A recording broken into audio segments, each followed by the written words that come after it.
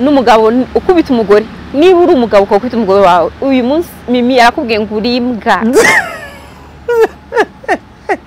Kuva ndi umwana na experience nze ah, injustice nyinshi Mm. par rapport euh, nanjye ngo par rapport yuko nsa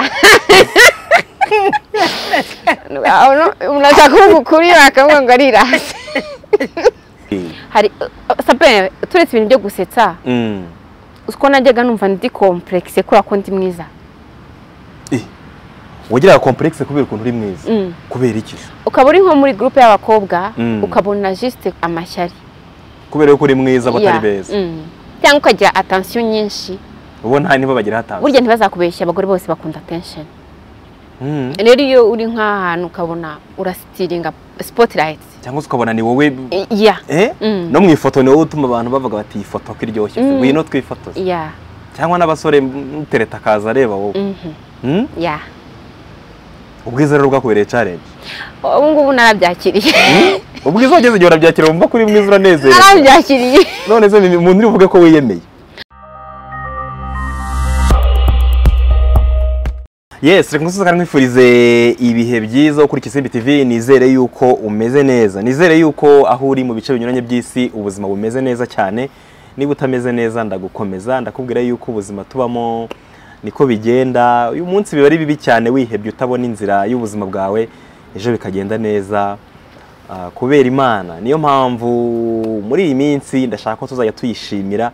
Iyo iba yadushoboje guhumeka tukareba ibiganiro nk'ibi ngibi tugakora ibiganiro tukaba turiho ah, imana ikwiye icyubahiro kiruta ibindi byose. Hari abantu baba bafite ibindi bintu bubaha mu buzima ariko dukwiye gushyira imana imbere. Si byo mimi? Mirage? Hasa asa neza useka neza?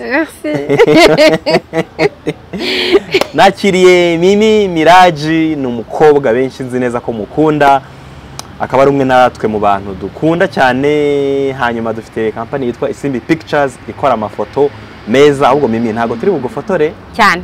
Tuze eh kugufotora narayabonye mufotora neza pe. Dufotora neza. Reka ahubwo dukore vuba. Mu kanya umufotogarafe witwa niseta agiye kuza gu- eh? Mm. Eh, yihusa gufata amafoto ubundi tuze kugupostinga usa neza cyane. Sawa. Eh, abantu dukorera barishima cyane tubakorera ibintu byiza. Namwe mujye mutugana mutuvugishe tubakorere neza cyane. Dufite ubukwe bwinshi muri iyi minsi dufite abantu bifotoza bya Christmas nawe waduhamagara kuri zeru karindwi umunani kane umunani gatatu umunani rimwe kabiri gatandatu tukagufasha. Ikaze mu Rwanda. Nakoze. Umeze neza? Mm. biragenda cyane. Ahubwo se bigiye bitajya bigenda kuri we mimi? Bihora bigenda. Bihora bigenda? Mm. n'ubu ngubu binisaba cyane? Cyane pe. Eh. Mm. niki ushimira imana? Ndashima imana ko ndi muzima.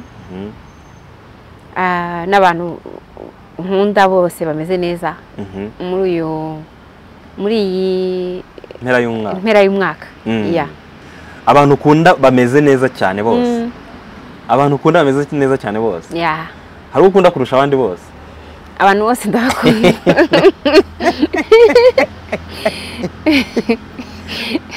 bagira ngo useke mimi bavuze ko bakunda ukuntu useka eh?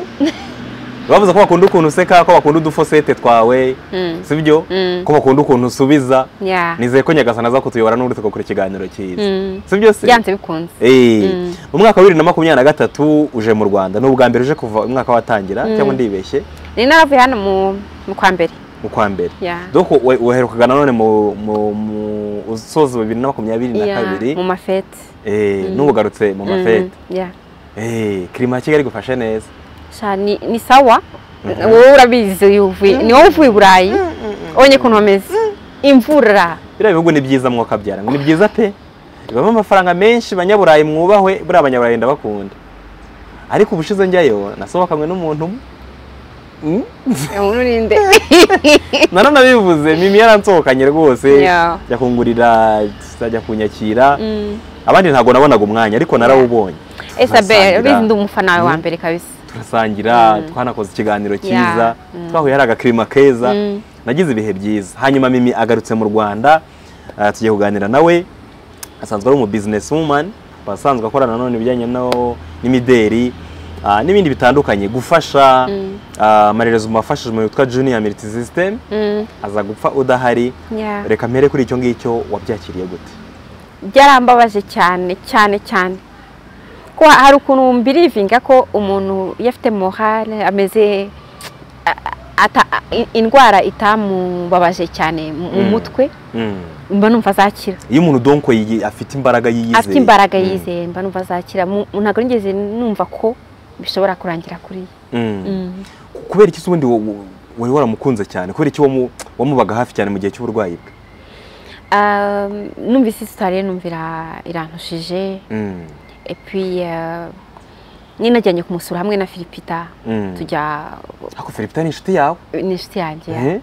Eh, ni inshuti yanjye cyane. Kabisa.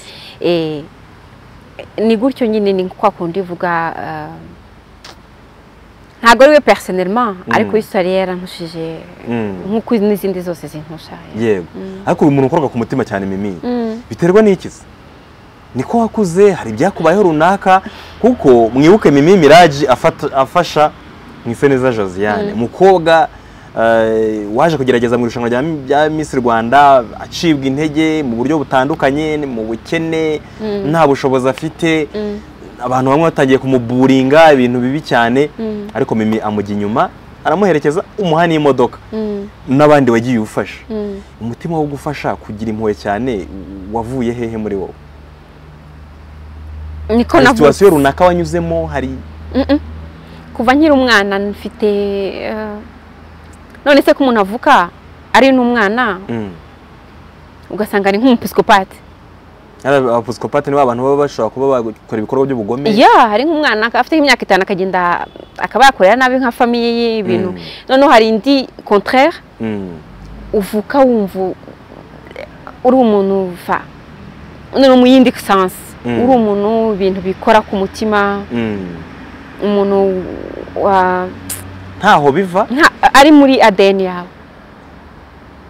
mama niko yari ateye famiye yawe bakubyaye ya famiye yanjye ni abantu beza eh, ako ndi kwivugaho personnellement Mm.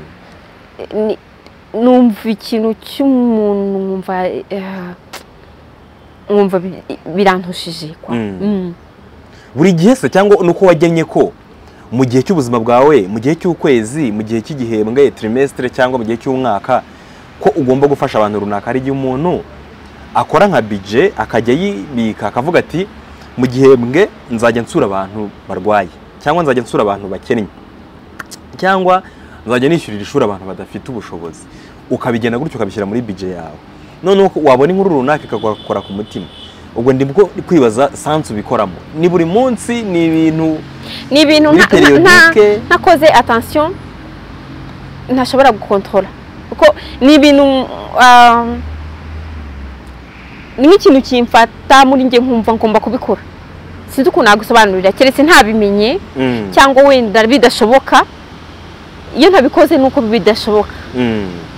ariko bishoboka numva eh, mba numva ari ibibazo byanjye. Oya, biba bishoboka kuko mimi ni umukire ya but mimi ufite ubushobozi. Utaza hano ukatubwira ibintu byabo n'abanyarwanda banga urumva ngo hari ukuntu ngo udufaranga ngo hari ukuntu. Sabin. Eh, eh, uwangira Elon Musk? Eh, nafata amafaranga yanjye nka- nka- nkayagabana n'abantu bose. Ah, badafite mm. ubushobozi. Mu byo nkora nakwishima nkoze n'ibindi birenzeho Mm. Akenshi abantu iyo bameze gutyo iyo bagiye mu bihugu abantu badakaringa cyane batita ku buzima bw'abantu cyane. Mm. hari igihe nabo bahinduka. Buriya mu bihugu mubamo ni ibihugu politike zubatse uburyo umuturage agomba kubaho neza mu buryo leta yabyubatse. Abantu ku giti cyabo ntabwo abaturage b'ibyo bihugu ntabwo bagira umutima mwiza nk'uko abantu babitekereza. Ariko leta ziba zarubatse ibintu ku buryo buri muturage afite Mhm. ubuzima bwiza. Ariko nka gutya nyine dufasha usanga abantu bahagurutse bagafashiriza bagafasha umuntu ufite ikibazo cy'ubushobozi cyo kwivuza Mm. mwebwe wanyu ntabwo biba? Umuntu amenya ibye? Umuntu amenya ibye.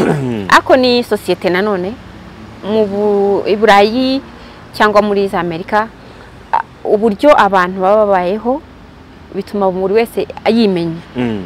ntago bafite kino kintu cyo ku ubuzima bu- bu- butuma utagira igihe cyo kwita ku bandi. Mm.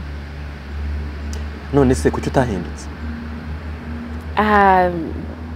buriya wasanga nanjye narahindutse warahindutse se ntabwo ntitwabimenya oya ntabwo cyangwa iyo utagiye wari kuba uri mwiza kurusha hano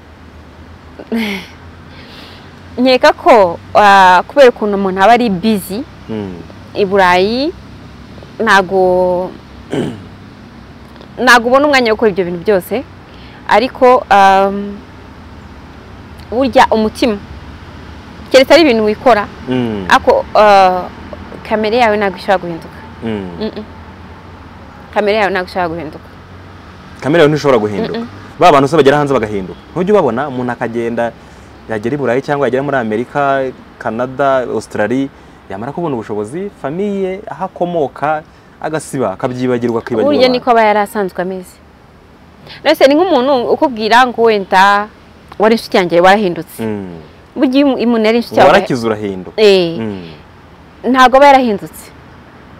Aba ariko yari asanzwe ameze ahubwo aba akweretse ah, icyo amafaranga akora? aba akweretse uwo ari we Mm. by'ukuri. Bivuze ngo ubu hari abantu bahabwa amafaranga none ahangaha runaka. Mhm. bakaba abakire. Tuga- tugahita tubabura bagahinduka. U- ntwongere no kumenya uwo ari we. Ubwo icyiza rero ni ukutagira amafaranga. Oya. Kuko abantu benshi ntujya wumva okay wenda wowe no kuba mu gihugu abantu batitanaho cyane ngo umuntu akubaze ngo waramutse mimi umeze neza twebwe hano uzi ko umuntu aragukurikirana akareba sitati akakubaza byagenze gute se? Ariko mwebwe ntabwo bibaho umuntu amenya ibye Ah, umuntu adatunze amafaranga ntabwo yaba mubi. Ah, donc umuntu atagize ubushobozi butuma yumva yuko njye nta kibazo mbibonamo kuko n'ubundi muri karagiteri yanjye ndi umuntu wirwanaho.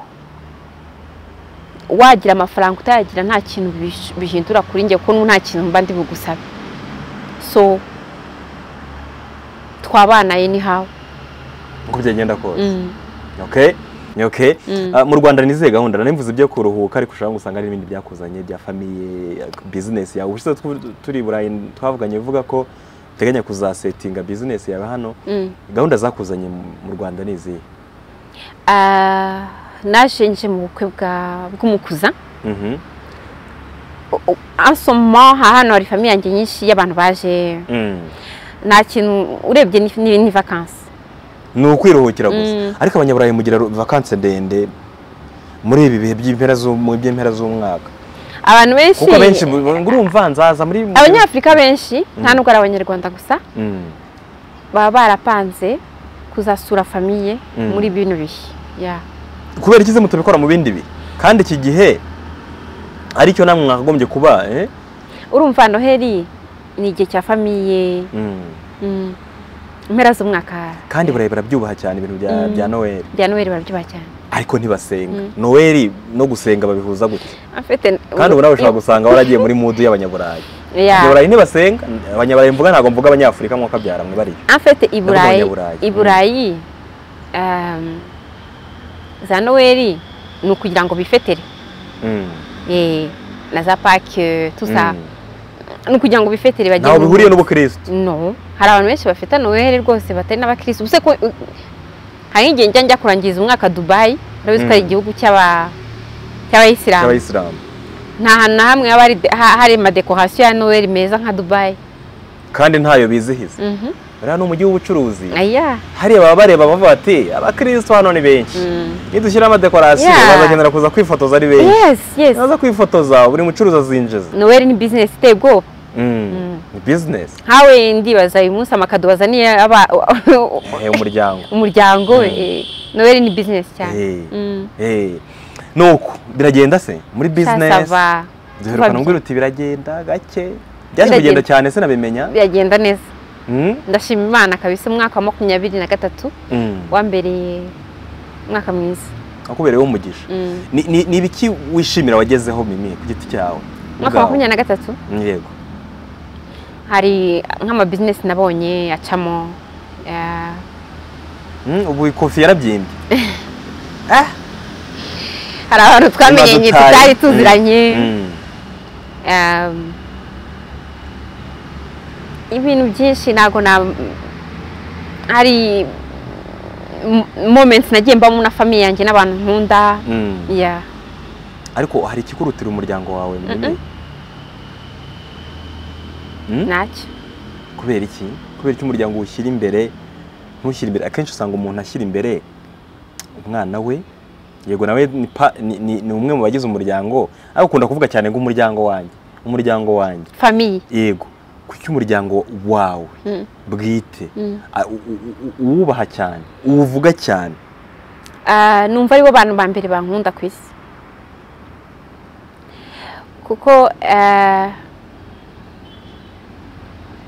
okay umuryango wanjye Kuko? numva iyo kuko ibintu ugiye kuvuga wanza kubivuga mimi. Kuko? Eh, ndi gushaka muzi ko mba ndi gushaka amagambo. Mm, ya. Eh, umuryango wanjye numva ari abantu bankunda unconditionally mm, Mm. kuko mfite abantu benshi bankunda kubera iki- ikintu mbamariye mm. Mm. bagukunda uh, hari abantu bagira imiryango bagira amahirwe make bakagira imiryango itabakunda cyangwa imiryango itaba itabashyigikiye Mm. itaba itaba mu bintu byabo nabo bataba mu bintu by'imiryango Mm. ugasanga ni umuntu abaho amafaranga uko yabonye ayakoresha uko ashatse kubera ko n'ubundi Mm. ntawe kuyasangira nawe n'ubundi imiryango yaramuhemukiye Mm. none imiryango yaramwanze Mm. wowe wagize amahirwe yo kugira umuryango Mm. Uh, wagize amahirwe yo kubana na mama igihe kinini ukiri mutoya oya ntabwo wagize ayo mahirwe Mm. biri mu byatumye ukunda umuryango wawe mu buryo bwihariye birashoboka wasanga narawuhaye agaciro kenshi kwa ko niranze konte ko abantu ukunda ushaka kubabura Mm. Mm. Warereshejwe urukundo rwinshi?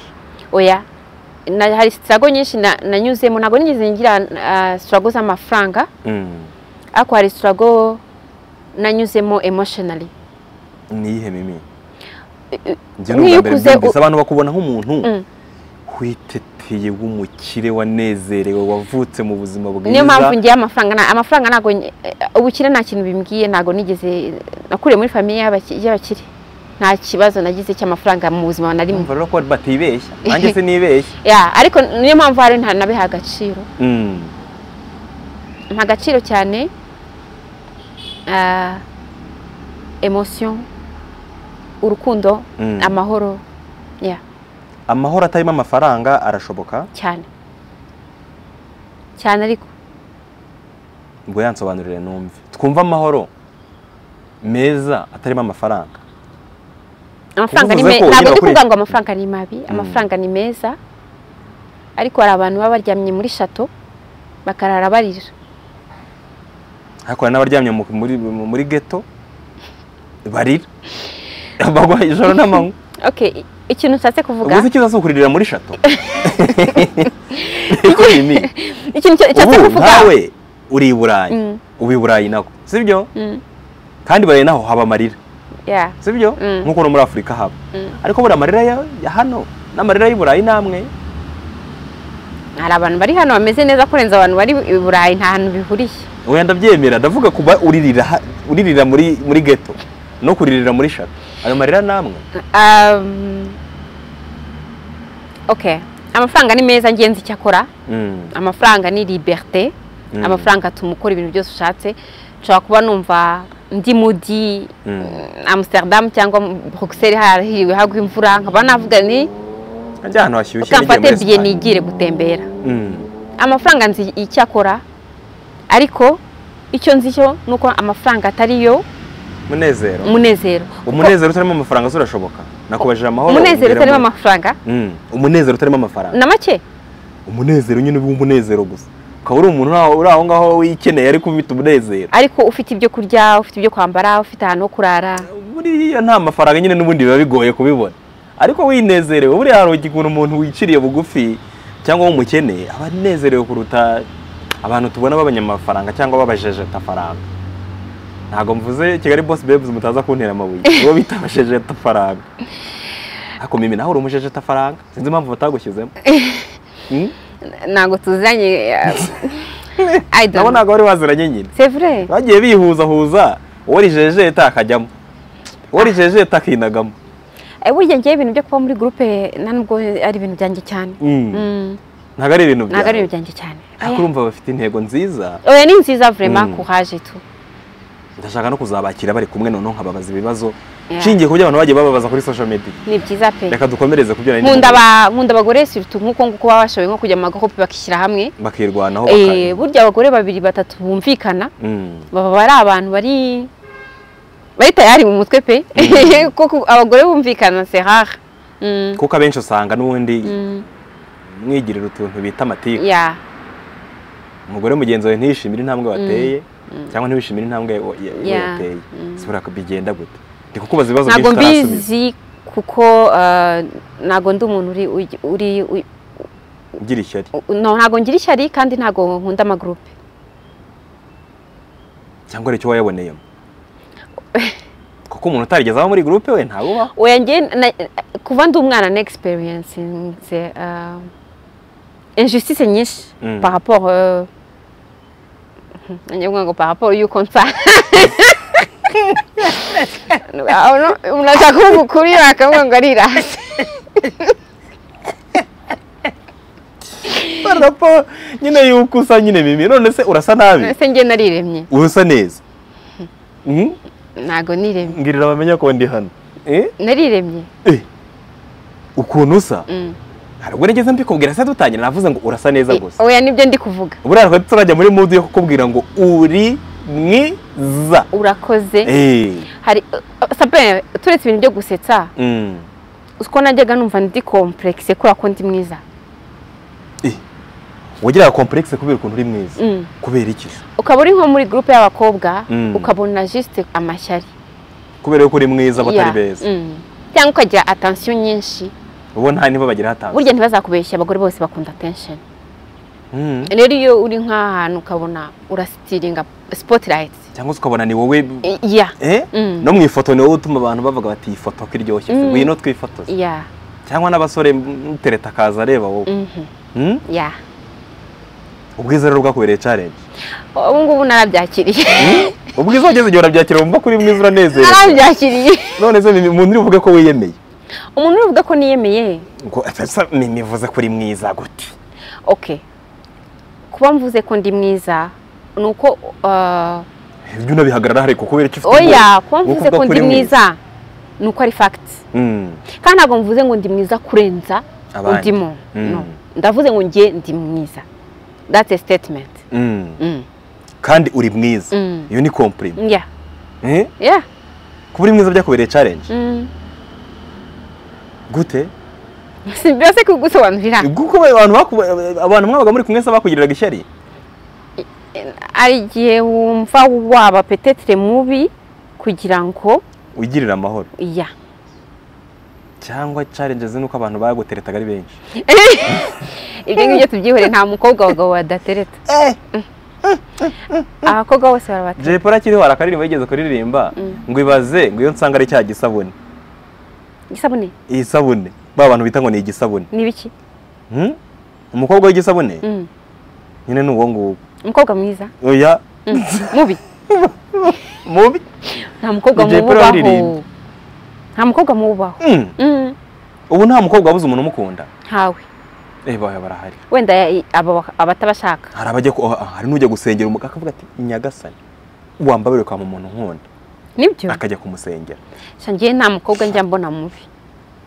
Ni uko uri umukobwa none ko udakunda abakobwa. Ya. Hmm? mbona abakobwa bose ari beza upfa kuba uzi kwitaho hari igihe rero erega umuntu yitaho kubera ko hari n'abantu bamubwira bati aka ka make up wagashyizeho biba ari Gutya ikintu nabwira abantu ni ukumenya kwimeta en valeur. Mm, uka ukamenya potential yawe ukaba ariyo ushyira imbere. Mm, kugira ngo ube mwiza kurenzaho tuvuge wenda nimba ah, uteye gutya Mm. ukamenya ndambara imyenda igenze imeze gutya niyo Mm. imbera niba ah, ndi mugufi ndabasha wenda kwambara inkweto ukabasha nyine kwishyira Mm. bitavuze ngo urihindura ariko ukamakisimayizinga yawe kumenya agaciro kawe no ku- no kugasigasira yes Mm. hari igihe rero umuntu aba yarakuze nta komplima yakira mu buzima bwe nta muntu umubwira yuko ari mwiza. Kandi burya buri muntu ni mwiza. Mm. ahubwo biterwa n'ureba Mm. buri muntu ni mwiza. Nta muntu mwiza nta muntu utari mwiza ubaho. Nta muntu utari mwiza. Mm. ariko hari igihe umuntu aba yaragize akantu gato ahura nako mu buzima. Wenda nk'umuntu akamubwira yuko ari mubi. Umuntu akamubwira ko afite umutwe mubi. Cyangwa umuntu abwira umuntu mubi ngo ni mubi koma? Ariko abantu bagira amagambo mabi. Ntabwo numva ukuntu ureba umuntu ukamubwira ngo ni mubi. None se a- abibonye ko utari mwiza. Ikintu nzi ah, ntabwo abantu bose batubona kimwe. Mm. nshobora kuvuga ngo ndi mwiza abantu bakumva ko nirase ariko hari umuntu ngewe ushobora kundeba akabona akabona nta kigenda Mm. ndabyubaha umuntu wese ntabwo agira guzisa ariko ntabwo ari ngombwa kujya kubwira umuntu ngo ngo ntabwo uri mwiza. Mm. bavuga ngo ntabwo uri mwiza? Bakubwira ntabwo uri mwiza yabavuze ko nibura hari ubwiza buke ufite. Ngika ng'urugero hari nk'abagabo ugasanga akunda abagore b'ibikara. Undi agasanga akunda abagore b'inzobe. Cyangwa yikundira abagore b'amabuno Ba- manini cyangwa akunda abagore bananutse. Mm. muri ino si twese dufite ibintu dukunda abantu baba bagomba kubitwubahira. Mm. nta big deal. Nta big deal. Hari abantu rero babereyeho guca abandi intege. Ntabwo bibaho kujya akaba yareba umukobwa ntagiye no kumutereta akamubwira ko ari mubi. Oya akaba yakoreba gutya ku kiganiro akandikaho komantere mbi. Ariko eh, nta nubwo njya mbabara? Kubera ko burya umuntu wandika ibintu nk'ibyo arambabaza ahubwo mba numva mugiriye impuhwe Mm. nta muntu ufite umutima mwiza ufite amahoro mu mutima ushobora kwandika ibintu nk'ibyo. Cyangwa ukavuga undi nabi. Ntabwo bibaho. Abantu bavuga abandi nabi baba bari mu bihe bibi. Baba bari mu bihe bibi. Noneho agaporojegtinga akumva a- umushiha afite akawujyana ku bandi bantu abona bameze akeka wenda ko bameze neza wenda banamurusha n'ibibazo. Mm. ukibwira ko ah, abantu nk'abo bafite ibintu bibi bibasohokamo Mm. baba bafite challenges mu mitima.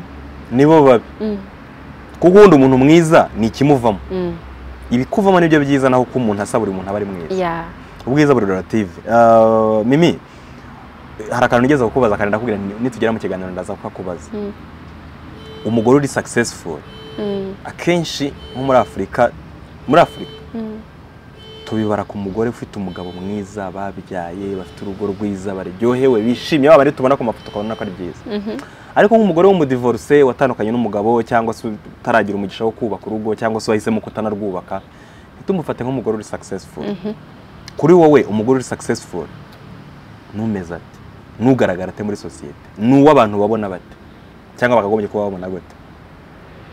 Ah, d'abord icyo kibazo nagikosora ntabwo ari kuba successful ntabwo ari ukuntu abantu bakubona. Kuba successful ni muri wowe. Mm. ukuntu ah, ukuntu ngewe success nyifata have you ufite happy life Mm. happy life whatever that means Mm. ni ukuvuga ngo muri wowe ukicara ukumva ufite amahoro ukumva uri happy Mm. n'ibyo ufite kumva uraryohewe kumva successful. uranyuzwe kuko tugendeye ko uko abantu bakubona Mm. hari abantu benshi tubona neza muri sosiyete ariko atari byo tubabona ko ari beza babayeho ubuzima bwiza. Bapositinga utuntu for example af- ari kumwe n'umugabo we none se sabe ntabwo ujya ubona? Nka couple z'abastar bameze neza.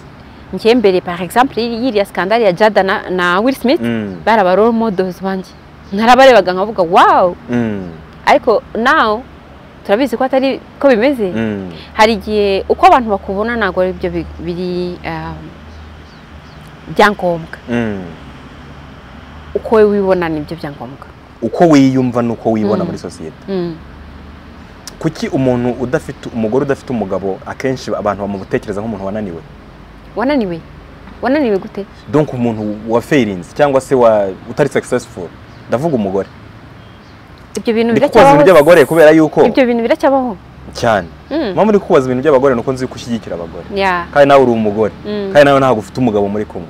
Kandi nawe hari intambwe wateye. Yeah. Navuga ko uri successful. Ese umuntu uri strong ni umuntu ufite umuntu umufasha gukorana ibintu? Cyangwa umuntu uri strong ni umuntu ushaka kubyikorana?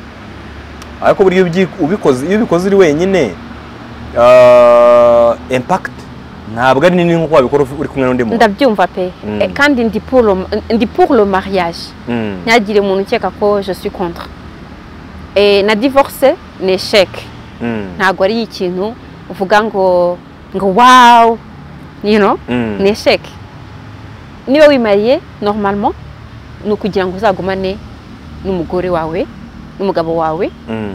mubyarane musazane eh, ariko mu gihe bidakunze kubera icyo byanze bavuga ko ari mu gihe bitakunze Mm. iyo courage yo kubivamo urabyumva courage yo, ku- yo, ku- yo kubivamo ngiye mbifata nka ubutwari. Byo kubivamo ugakomeza ubuzima. Mm. Mm. hari abagore benshi bari abused. Nta nubwo ndi kuvuga gukubitwa gukubitwa byo tu- tubyihorere n'ibindi birenze. Wowe ngo bagukubise warara wigendera iye baba we. There is no way. Unabitekereje yuko Mm, niyo wabimbwira kubitekereza. niyo wabimbwira ashobora kukubwira ari ukujokinga gusa cyangwa nta kujokinga. Cyangwa akubwira ati agira ngo agukinisha rero. Ari nka wenda ari nka we. Blague. mbibona ko ari Mm. blague we. Me nta mugabo wankubita jamais none se mimi ko kubaka urugo ariko bigenda? Gukubitwa? Ni ukwihangana sabin? Mm. gukubitwa? Nta bantu se ubungubu bari mu ngo kandi bakubitwa kandi kamera muyigize hano umugore wese ukubitwa? Mm. ntabwo ari bwo buzima ntibibaho ntazongere. Hari abakubitwa? Barangiza bakaza hano kuri kamera bakatubeshya. Ukamubona se akagwira ati gehewe umugabo wanjye. Atesha byihorere. Nararyohewe. Wagera mu rugo. Ugasanga baramudiha niba namukubitaho baradiha Mm-mm. nk'ingoma z'abaporoso. N'umugabo ukubita umugore. Niba uri umugabo ukubita umugore wawe uyu munsi mimi yarakubwiye ngo uri imbwa. Nta muntu ubagize nka mutezi jori oya. Umugabo wese ukubita umugore nta kigenda jori ko yaba- yavuze ko ari imbwa bakamuseka. Abagabo bakubita abagore babo? Abagabo baf- n'abafatana b'abagore muri rusange. Barabyaranye aramutaye kuko jori yigeze kubisobanura kuko Mm. ngiye jori rwose twaraganiriye yabisobanura Mm. umugabo ukubita umugore umugabo ufata nawe umugore umugabo ubyara erega gukubitwa hari umuntu ugukorera hari ibintu bita narcissist. Mm, ugukorera na emotional abuse. Wica amarangamutima. Bitagaragarira abantu. Bitagaragara muri pa- public wawe mbega couple nziza. Njye ntabwo nshaka ntabwo nyireba couple ngo mvuge ngo wawe nta kintu bikimbwira hari igihe biba ari byo? Hari ushaka. Akenshi ntabwo biba ari byo. akenshi ntabwo biba ari byo. Ba bantu mubona ba- bakubwira bati urumva ati twebwe turaryohewe. Eh, injira mu buzima bwa iyo urebye de près? Hmm, no. Ni ukuvuga ngo umugabo ukubita umugore we Mm, umugabo udafata inshingano mu rugo umugabo nyine mu rugo byananiye. Mhm. ni ikibwa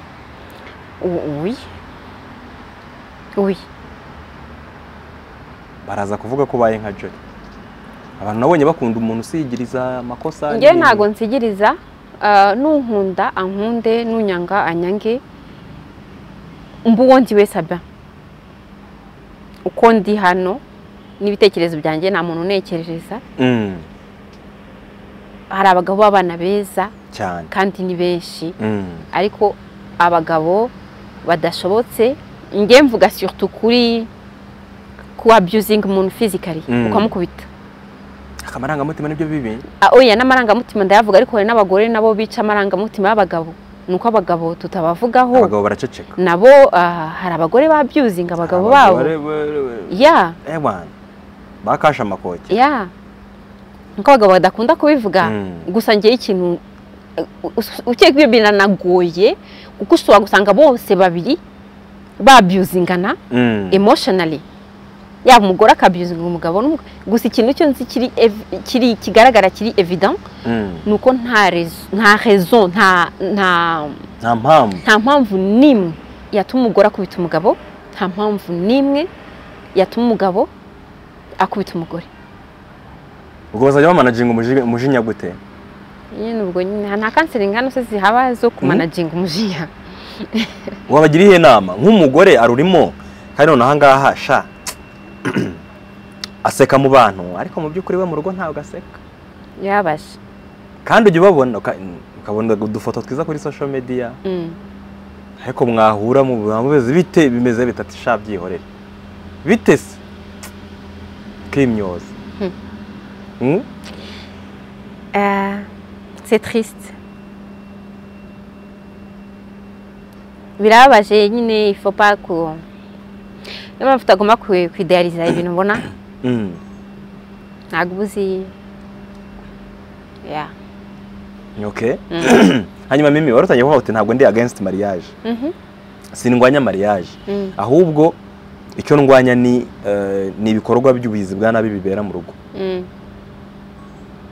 Nturi against mariage ariko nta n'iyo urimo. Nta Eh? ko ntazayijyamo. Haracyari kare. Aracyari kare. Uba wumva ari ibintu byiza wumva ufite ku mutima cyane ushaka kuzakora cyangwa ubikoze nta kibazo utanabikoze. Mbikoze nta kibazo ntanabikoze na byo nta kibazo. Mbigiyemo ari byiza binshimishije. Mm. Nabikora nta kibazo. Aho ngo iyo umuntu ashatse umugabo ngo agaciro ke kariyongera cyane.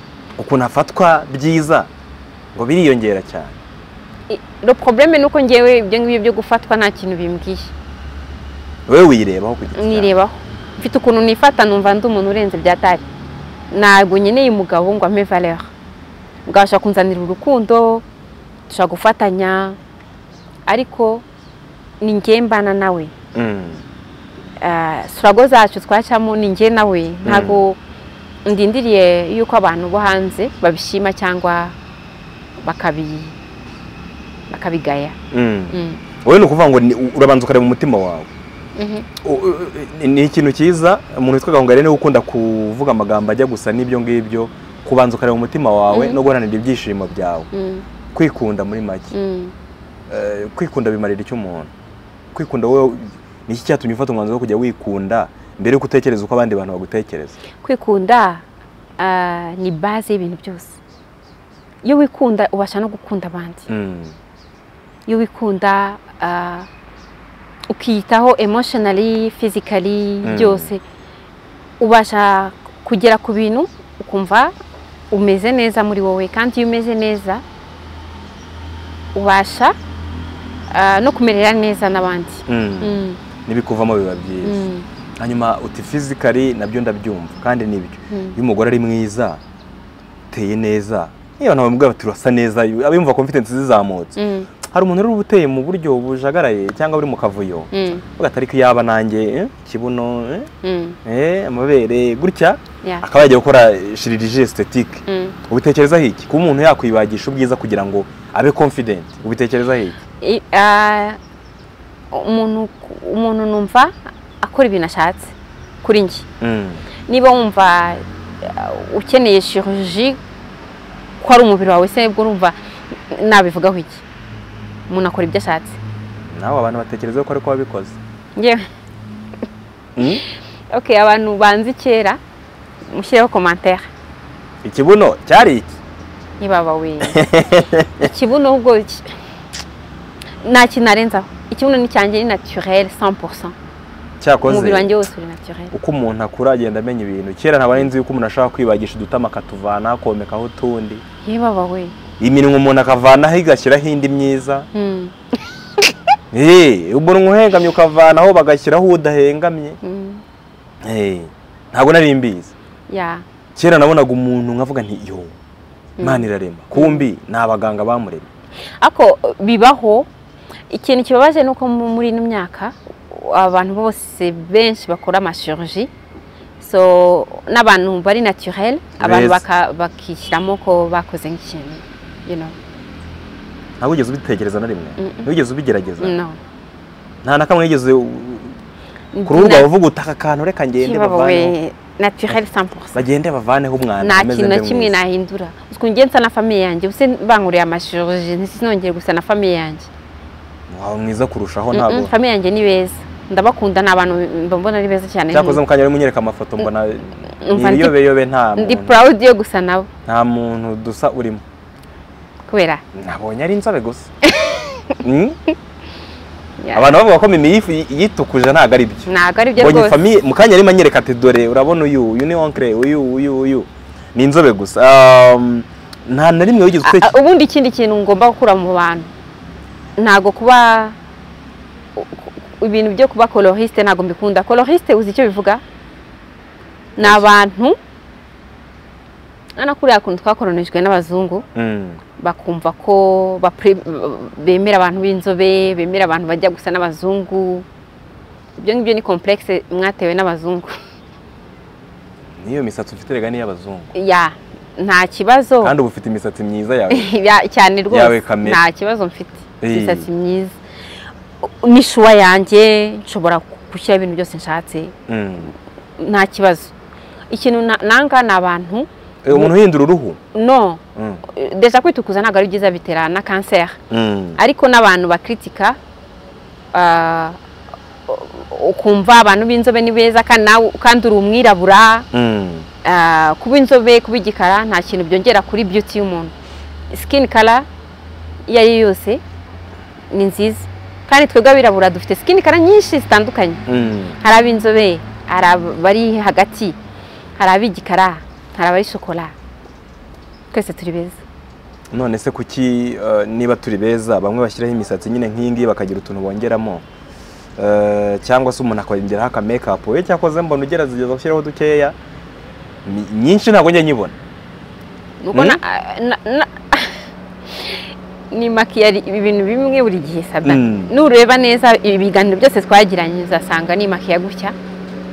Numva bihagije. Ariko birashoboka ko umuntu yakaraba akisiga akagikotora akirukanka niba turi beza. Yabibaho none se kutajya ubikora? Nuko turi abakobwa nkunda kuba umukobwa nkunda kwimakiya. Numva ari iyo ndi muri miwari ndimo ndimakiya. Numva ari fani nawe urireba ukumva ntabwo ntabwo ntabwo uhaga. Ya niko kundi abagore bakunda imyenda bakunda guhindura bakunda guhindura imisatsi coiffure. Mm. ni ibintu biri fani twebwe tutajya dukunda ibyo bintu byagenze gute? Abagabo se mwebwe se bien muhora muri beza naturellement.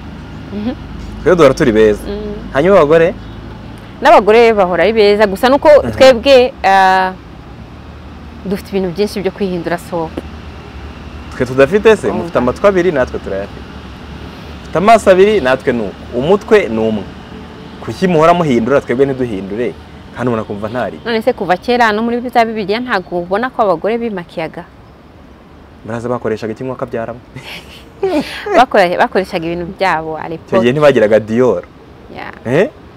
Uriya rero baba bafite andi mamarike tutazi? Ese bibwira ko umugore w'umwami kiriya gihe abantu babaga ari beza cyane ntabwo nta bintu biyongera biyongeraga. Eh eh ntabanza utararebye filime ziba zirimo nk'abayejibusien ni filime nyine reka filime baratubeye ntabwo baba batubeshya kera abantu babaga ari beza ntabwo biyongeragaho ibintu bisize ibintu by'umukara ku maso byiza komsa ntabwo uzi Cleopatra yego. Ntabwo waba ubona ukuntu ari makiye ariko nyine ntuze ni ni ni filime. Ntabwo ari filime buriya Ubu ni tuvuge kureba ko- mu mwaka wa magana abiri Mm. Ubu turi muri bibiri na makumyabiri na gatatu. Mm. muri magana abiri. Mm. bari makiyaga. Bari makiyaga ariko cyangwa bari beza kamere be bari beza cyane. Yego ubu ngubu wenda dufite ibintu byinshi. Mm. ariko babaga bafite ibintu byabo nabo ba- bakoresha beauty. Mwarabakurikije rero. Ya. Okay mimi bizinesi yawe ije hano i kigali ryari? Wari wavuze ko uri kubitekereza kandi nabonye abantu bavuga bati mimi nafungure bizinesi kigali aduha akazi. Bizinesi ah, ntabwo biba byoroshye biba bigomba kuba ubasha kubisoroveya Mm.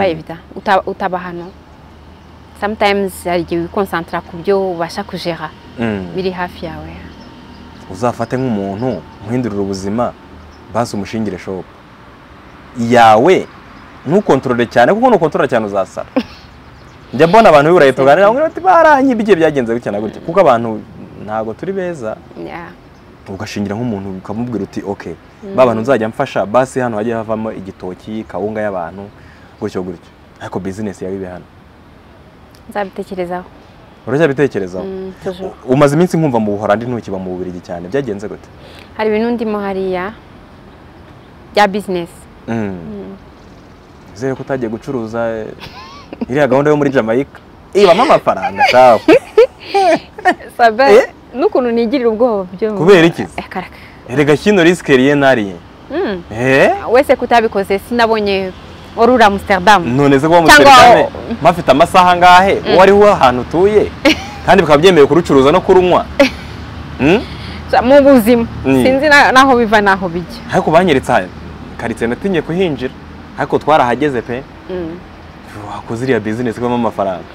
Ukicururiza urumogi. Biremewe. mu buhorandi biremewe kandi ni ho mimatuye U- utangiye rero kurucuruza warangiza nawe warunyweye oye wajya urucuruza gusa? Aya ntabwo ari byiza. Ntabwo ari bizinesi zose ziba ari nziza. Memu no no mo hari m- muri mu imana yemera. Ariko leta irarwemera mu buhorandi? Hmm? leta irarwemera? Mhm. Eh, leta irarwemera. Hari n'abantu benshi barucuruza ariko ntabwo ari bizinesi nyinteresa wowe uba interese n'iyihe bizinesi ibi ngibi by'imideri gusa kandi amafaranga arimo ni make ugereranyije n'ayo mu rumogi. Kandi ufite amahirwe y'uko igihugu urimo wowe byemewe. Ubwo ndumva ino bizinesi y'urumogi kwinteresa uzambwira shakira njye kuko impapuro ziba mu buhorandi. Ngushakire kontakiti ngewe nahita keretse si byemewe kurucuruza hanze biremewe rwose ni ni ni ubushake bwawe. Ubushake bwawe. Noneho n'ukuntu umuntu aba aca ahantu akumva rurahumura abantu barunywa. Mm. Naravuze imana yanjye cyakoze isi ziratandukanye. Isi twirirwamo y'i kigali n'isi ya hano mu buhorandi ziratandukanye. Mm. Eh, noneho uburaya nabwo buremewe. Ibintu byose biremewe mubaho gute ku buryo umuntu agira disipurine aba mu gihugu ibintu byinshi bibi bibyemewe tubifata nk'icyaha? Nta kintu cyiza nko kudakora ibintu kubera ko ut- utabishaka atari uko bibujijwe Mm. Urumogi amsterdam uragenda ukinjira. Ku manywa. nta muntu ukubwira ati ariko Mhm. dore leta. Igihe cyose ushakiye ntabwo nabonye muri afite abapolisi badakangitse pe. Abapolisi bagenda ku igare. Bagira traffic igendera ku igare. Uzakora amafuti turebe. Neza babigenza gute? Bakwirukanka naho n'igare? Njye nabonye abapolisi bagenda ku ntabwo igare. wamenya ni imodoka ziturutse. Kandi mu mujyi nabonye ahenshi nta modoka zigendamo. Traffic igendera ku igare abapolisi nabonye batembera n'amaguru nta mbunda bafite. Ya. Mm? eh urumogi ni bizinesi hari amakofi shopu ntushobora kugenda iminota nk'icumi utarabona kofi shopu coffee shop? Kofi shopu ni ziriya shopu bacuruzamo urumogi eh kandi ari coffee? Oya niko babyita. Eh coffee shop? Mm. donc rwasimbuye coffee. ntabwo nkubwije ukuri ntabwo nzi impamvu babyita kofi shopu ariko niko byitwa. Mm. ni cyo wakunze cyane mu buholandi gitandukanye n'ibyo n'ubuzima babamo mu bubirigi Buholandi ni igihugu cyanjye kandi atari atari cyo ufitiye impapuro? Ntabwo ari cyo mfitiye impapuro ariko ah, nkunda mentalite yabo nkunda ukuntu bambara. Mm. ah, nkanjye ukunda fashion. Ush- nshobora no kujya mu muhanda nkareba abantu juste ukuntu bambaye. Gusa mu Bubiligi ni abaturage mu bubirigi ni abaturage hano muri mu bubirigi nguwo mimi cyakoze mu bubirigi icyo nahakundiye haba abanyafurika kweri abazungu bo mu Bubiligi nibo bantu ba mbere b'abaturage Ah- ahantu nabonye abazungu b'abasirimu mvugishije ukuri b'abasirimu mu busuwisi utwo nanjye kuhavuga utararangiza kubivuga mu busu mbega abasirimu ubona umuntu ukareba ukuntu yambaye ukareba ukuntu ahu- ukuntu Ahumura, imodoka agendamo cyangwa ukuntu lifestyle. Mm. ushobora ugahita uvivura kabisa. Rero mu Bubiligi ni ni se nabwa iki harimo akantu k'iwacu hano muri afurika. Mm? harimo akantu k'akanyafurika ukuntu ni abantu ibintu bya mode ntabwo. Hari nk'ibintu nshobora kwambara? Nabishatse. Abantu bose bakagenda bakureba. Mu burayi? Njye ninzi ko biba hano muri afurika. Yaba bakureba bagutangariye. Ariko Amsterdam nta muntu ukureba kuko ushobora kuba basic mu bintu by- byoroshye cyane. Mm. abantu bose baba ari special. Na- na- naho se bimeze nko mu bubirigi kwa kundi umuntu ashobora kuba ya- yabaho muri muri karitsiye runaka atuyemo ukasanga harimo abanyarwanda cyangwa abarundi. Nta munyarwanda ndahurira kubaho. Amsterdam.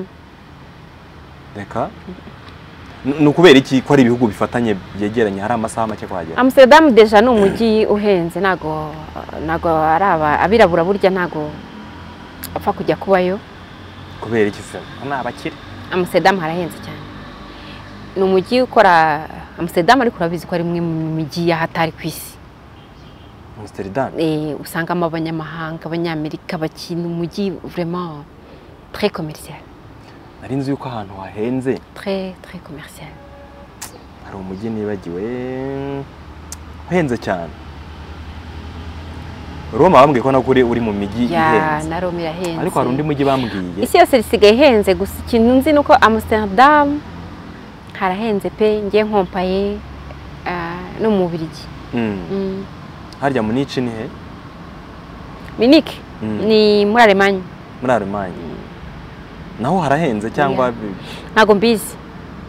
Ariko nyuma ya covid n'izi ntambara zo muri Ukraine. Mm. Europe yose yaragize. Nibura ububirigi hari ukuntu ibintu byoroshye. Si byo ariko hari imijyi yahatari Mm. U- u- ushaka kuzimuka burundu ukava mu bubirigi ukajya muri burya rero iyo muri Europe ntabwo ari kuvuga ngo wenda ngo nzahindura residence. Nshobora kuba ni ahantu horoshye cyane kujya kuri njye. Mm. turaturanye nshobora kuba nshobora kuba hombi cyangwa wasanzeyo fiyanse we.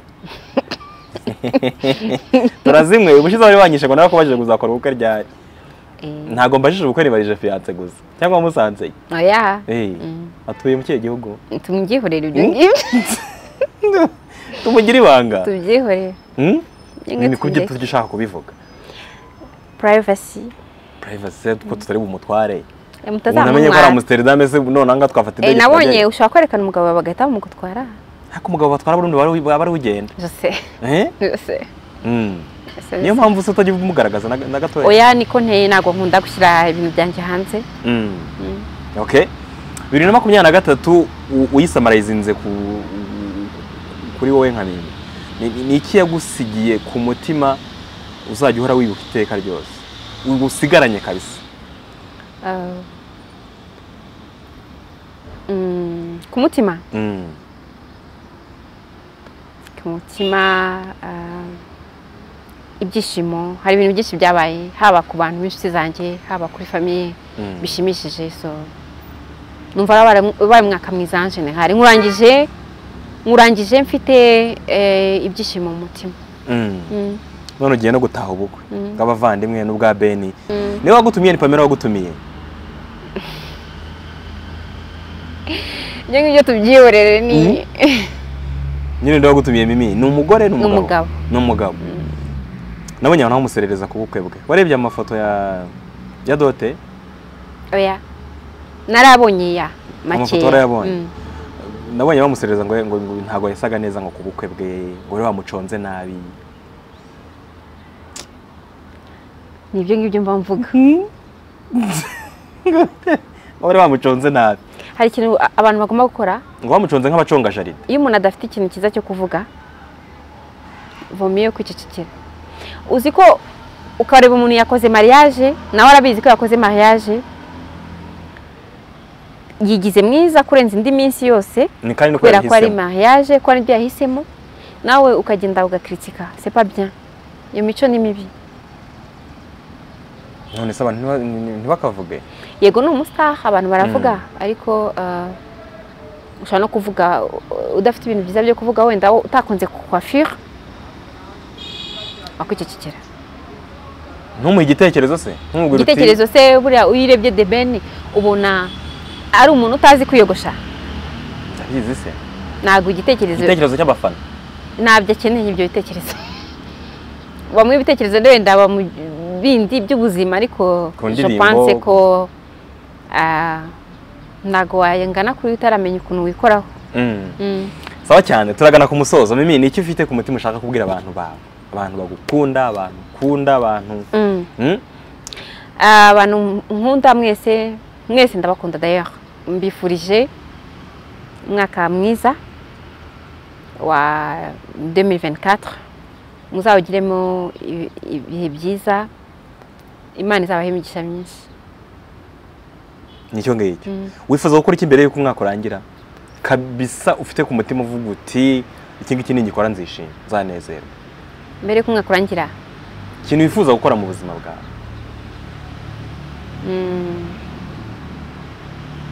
Numva nshaka kuba umuntu usenga kurenza uko nsanzwe nsenga.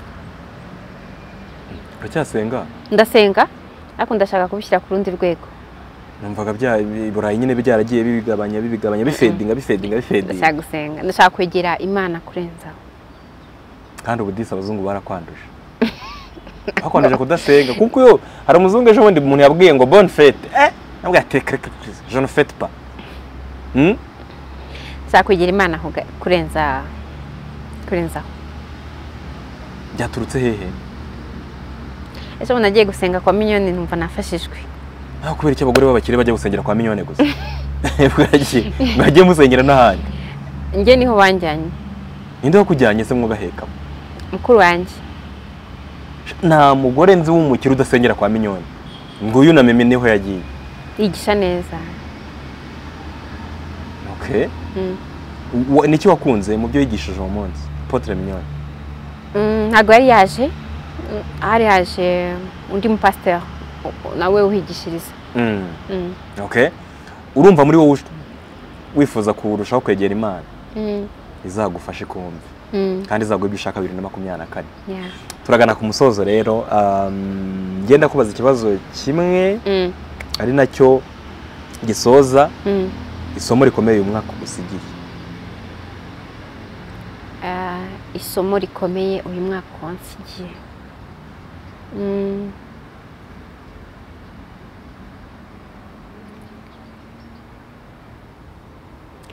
isomo rikomeye navuga uno mwaka wansigiye Mm.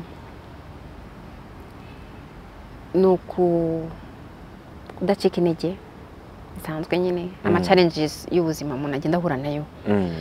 ko nta kintu ki- kitarangira. Mhm. ibintu byose uh, ugomba kubibamo uh, like a hero of your life. Nta kitagira iherezo. Mm, nta kitagira iherezo. Okay. yitwa mimi mirage. Abantu baba bakeneye ngo nimero ye mujye kuri instagram. Yitwa mimi akadomo mirage. Niyo mazina akoresha kuri instagram. Uh, numuforowinga numwandikira nkeka ko ujya usubiza abasitari mudasubiza? Ndasubiza. Mujye musubiza abantu. Mhm. erega ubuzima buza- buzashira. Ujye usubiza abantu bawe abantu bagukunda. Buri muntu ufashe umwanzuro akaguforowinga akakwandikira. Gusa hari igihe mesaje byo ziba nyinshi. Ni nyinshi pe. Ku buryo kugira ngo uzasubize. Nanjye hari igihe mfata umwanya ngafata nk'iminota mirongo ine yo gusubiza abantu. Mm. hari igihe umuntu rero agwa mu gihe ndi gusubiza nka ngahita musubiza. Ariko gihe ngasanga zabaye nyinshi cyane. Nkavuga nzongera mfate igihe nsubiza gusa ujye ubasubiza ni kuri instagram niko yitwa. Hanyuma ah, tugiranye ikiganiro gisoza umwaka nyagasana azadufashe twongere duhure uzasubira ibirayi ryari ndacyafite nk'icyumweru n'igice komsa uracyarya ubuzima? Mm. mu bushyuhe? Uraje usubireyo Yeah. noneho haye? Nkunda mu rwanda. Ni ukuri u rwanda dufite kirima ya mbere nziza. Sinzi ukuntu nabivuga. Mm. umuntu utaragera mu bindi bihugu ntabwo yamenya ukuntu hano ari heza. Ukuntu hahumura byose. Mm. nta kuntu waba ameze. Hey, Yeah. wazaje ukiyibera mu rwanda ubuziraherezo ubundi si wowe iwacu? Niyo maherezo. Mwashatse impapuro ntimuzanagaruka. Niyo maherezo. Yenda nababaye. Sha muzaze muture mu rwanda. Nta hantu hamwe njya ku kariya cyakoze isi nuyagwiza uzagaruke hano. Niyo maherezo pe. Nimuyagwiza mukumva mwayagwije. Mm. Muzigarukira. Byanze bikunze pe. Mm. Mm. ndahabakundishije muranahakunda murabizi neza. Aha hantu muri iki gihe harashyushye hari imvura hari ariko usanga hashyushye. Dore mimi ntiyifubitse. Dore yambaye agakora. Nambaye agakora. Mm. Eh, mimi reka ngushimire. Nyagasani akugirire neza wakoze kuza. Umwaka mwiza umwaka mushya wa bibiri na makumyabiri na kane uzawugiriremo ibyiza uzakomeze ufashe abantu nibinagushobokera mu mpera z'umwaka uzashaka gusangira nabo iminsi mikuru. Si byo ugira buburesinga uhaye dieho uhaye ibihumbi bitanu uhaye igihumbi nyagasani azabigushimira. Sawa. wakoze cyane. Ibyiza biri imbere. Turagukunda mwakoze saba